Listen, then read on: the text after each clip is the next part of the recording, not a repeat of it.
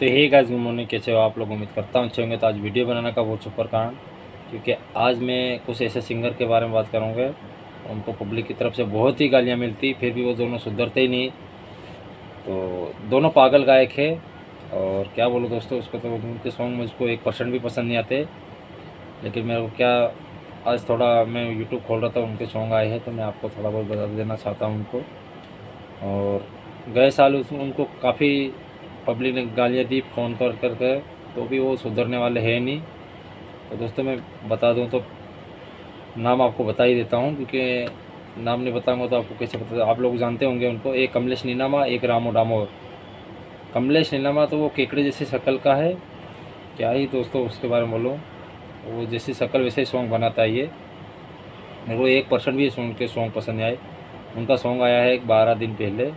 उनके अभी ग्यारह दिन हो गए होंगे बारह तो उस पर तिरपन हज़ार प्लस व्यू है अभी। और एक है रामो डामोर का सॉन्ग आया। है रामो डामोर का तो चलो फिर भी ठीक है, वो कभी कभी सॉन्ग मतलब काफ़ी ढंग का गा भी लेते हैं, लेकिन कमलेश नामा का तो एक परसेंट भी सॉन्ग सही नहीं है। और रामो डामर का आया है बोकड़ा सॉन्ग वो उस पर अड़तीस हज़ार प्लस व्यू है अभी।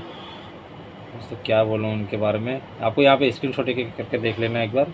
मैं दो स्क्रीन शॉट डाल रहा हूँ, उनके अभी जो सॉन्ग आए अभी, उनके बारे में डाल रहा हूँ। और आपको इन दो सिंगरों के सॉन्ग कौन से अच्छे लगे कमेंट में ज़रूर बताना।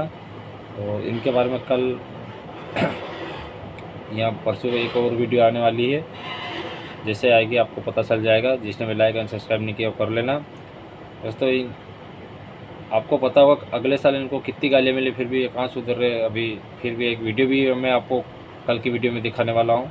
तो दोस्तों, मिलते हैं नेक्स्ट वीडियो में। तो जय जोहर जय आदिवासी।